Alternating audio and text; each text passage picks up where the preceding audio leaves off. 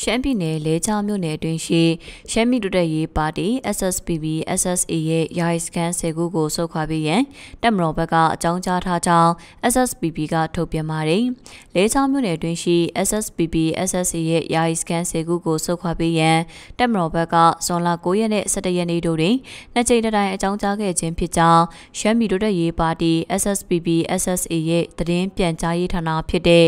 SSPB Info ကထုတ်ပြန်ပါတယ်။အဲ့လိုတက်မတော်ဘက်ကအကြောင်းကြားထားပေမဲ့လည်းရှမ်းပြည်တိုးတက်ရေးပါတီ SSPB SSA အနေနဲ့စုံခွာပေးရန်အစီအစဉ်မရှိတာကြောင့်နှစ်ဖက်တပ်အကြားစစ်ရေးတင်းမာတဲ့အခြေအနေရှိနေကြောင်း SSPB Info ရဲ့ထုတ်ပြန်ချက်မှာဖော်ပြထားပါတယ်။၎င်းဒေသတွင်တာဝန်ယူလှုပ်ရှားနေတဲ့ရှမ်းပြည်တိုးတက်ရေးပါတီ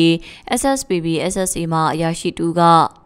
ဟုတ်တယ်ကျွန်တော်တို့ကိုလဲချပင်လုံးမိုင်းနောင်လန်းရဲ့တောင်ဘက်ကနေတက်ဆုပ်ပြီးဖို့နှစ်ကြိမ်သတိပေးခဲ့ပါတယ်။ ကျွန်တော်တို့ဘက်ကလည်းဘလို့မှနှုတ်ထွက်ပြီးလို့မရဘူးဆိုလို့တပ်ဘက်ကအင်အား300လောက်ကျွန်တော်တို့ရှိရဲ့ဘက်ကိုလာကတ်ထားတယ်။သူတို့ဘက်ကစပြရင်တော့ခန့်စစ်အနေနဲ့ကျွန်တော်တို့ဘက်ကလည်းအသင့်ပြင်ထားပြီးဖြစ်ပါတယ်။နှုတ်ထွက်ပြီးဖို့တော့ဘလို့မှမဖြစ်နိုင်ပါဘူးလို့ပြောကြားပါတယ်။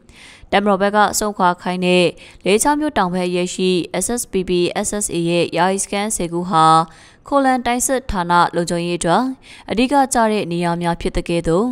SSPB SSA ဌာနချုပ်ရဲ့လုံခြုံရေးအတွက်လည်းအဓိကကျတဲ့နေရာများလည်းဖြစ်ကြောင်း SSPB Info ရဲ့ထုတ်ပြန်ချက်မှာဖော်ပြထားပါတယ်။ 2015ခုနှစ်နှစ်ကုန်ပိုင်းကလည်းမိုင်းယူမိုင်းနောင်မြို့နယ်အတွင်းရှိ SSPB SSA တပ်စခန်းများကိုကားလက်ရဲ့မြောက်ဖက်အထိစုပ်ခွာပေးရန်တမတော်ဘက်ကသတိပေးတောင်းဆိုခဲ့ပေမဲ့လည်း SSPB SSA က